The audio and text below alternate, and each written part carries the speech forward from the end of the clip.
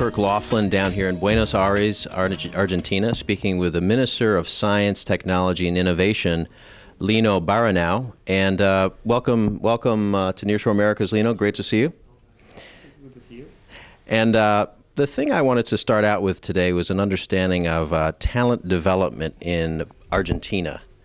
Uh, you have something around 60,000 folks working in the uh, IT technology sector, and you just told me a few minutes ago you need about 7,000 new graduates every year to meet the need. So tell me about what you're specifically doing to tackle that issue. Try to, uh, first of all, lure youngsters into computer science um, by several means. We provide um, fellowships for um, undergraduates to pursue um, careers related to information technology in many universities of the country. That's sponsored by a grant from the World Bank, and it's going on well. We also are trying to modify the traditional archetype of the computer scientist uh, through um, uh, several programs in a new TV channel we're going to launch in, in a few months, sponsored by our, our ministry. The idea is to show young people doing working in computer science companies or studying information technology related um, careers show they are normal people very clever that they have fun um, and also we want to show that they, they can have um, very well paid jobs uh, if they uh, are able to um, I mean, get a degree in, in those careers. What we've seen in the U.S. market is a lot of active promotion from some of the big markets out of Brazil, Mexico, Costa Rica, Colombia. In meetings in the last few days with Globant and Neoris, Softtek, uh, Grupo ASSA, among those discussions, people are saying Argentina is still sort of the best kept secret in nearshore outsourcing. Do you are you concerned about the fact that it's almost perceived as a secret that you've got such a good story to tell here? Yeah, I, I guess this, uh, that characterization, characterization is right. Um, we are still a kind of um, boutique vineyard in terms of the wine industry. Not well known as the Chilean wines, but with top quality wines. And the same is true for in the, in the computer uh, science. We have uh, top quality uh, human resources. Um, uh, for instance, uh, the local offices of IBM got the highest qualification in terms of uh, international terms two weeks before the, the local office in India.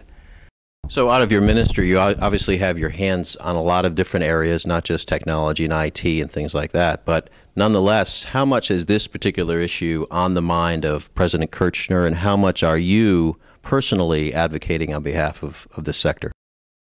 Like to, to mention that the, the creation of the ministry was a personal decision of uh, President Cristina Fernandez. Um, and that's part of the uh, of the new model for, for Argentina, where science and technology is a key component. I mean, she stresses the need for uh, adding value to our exports, to promoting technological developments, to diversify our economy. So um, the increase in the in the budget shows that it's not just a declaration, that they are convinced, the government is convinced of the importance of supporting science as a way to improve the quality of life of the Argent Argentinians. Okay, final question. Obviously, something must be going right because you have big firms like Intel, Motorola, and IBM, uh, really Oracle. Uh, what are you doing to uh, induce those companies to come here? What, what what's the unique uh, proposition that you think's made it attractive to them? We have many incentives in, in I mean, different cities in Argentina provide uh, different benefits for for big companies to uh, settle um, their research and development facilities. Um, we are, are um, providing highly qualified human resources. Um, also, we are um, promoting the, cre the um, creation of uh, new companies, new startups that will provide services to the, the, the multinational companies. And the whole atmosphere of um, uh, is, uh, is, I think, is a competitive advantage of Argentina. I mean, the quality of life here is is very attractive for I mean people coming from different parts of the world.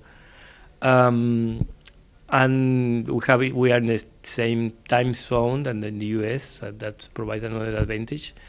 The the cultural affinity is also uh, significantly uh, different from other part, part of the world. So uh, I think we have many advantages, and that I mean those companies are not philanthropic. I mean, they they decide to to look at Argentina, because there there there might be some real benefits. Absolutely. Well, I wish you the best on this journey. Fabulous city. Great to see you in Buenos Aires.